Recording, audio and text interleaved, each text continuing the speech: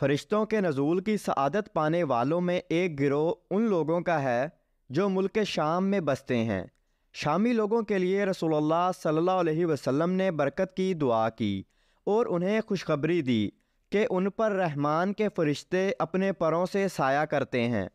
याद रहे, ये हर शामी के लिए नहीं, बल्कि उसके लिए है, जो मुखलिस और तोहीद का इकरार करने वाला और शरीत मोहम्मद अलैहि वसल्लम पर कार बंद हो।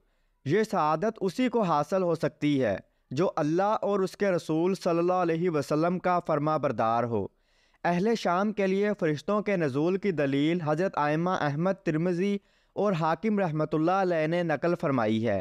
हज़रत जैद बिन साबत रज़ी अल्लाह तह फरमाते हैं, हम सल्लल्लाहु अलैहि वसल्लम के साथ थे और हम कुरान को मुख्तलिफ़ टुकड़ों से इकट्ठा करते थे।